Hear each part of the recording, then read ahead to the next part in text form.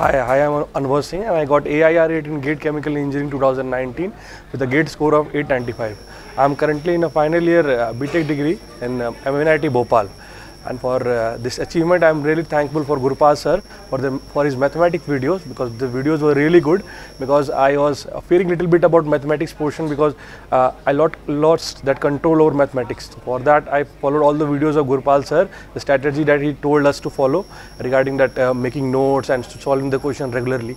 And at last, I'm also thankful to Umesh sir because uh, his motivational videos were really good.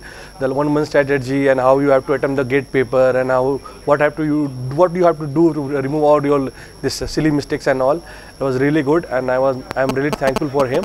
And at last, for the coming gate aspirants, I want to give an advice to be because the game the, the gate game is just about confidence only. To maintain that confidence and uh, all the best. Thank you.